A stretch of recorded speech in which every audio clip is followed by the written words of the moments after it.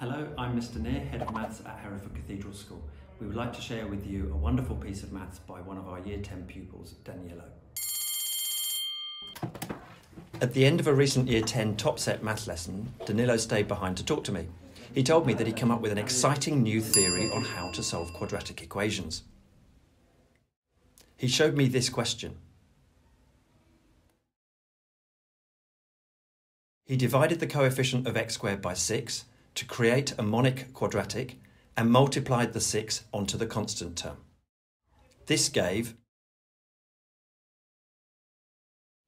He solved this equation. He then divided both of these answers by the 6 he had removed in the opening line. Which are the correct answers? I thought to myself, he's onto something here.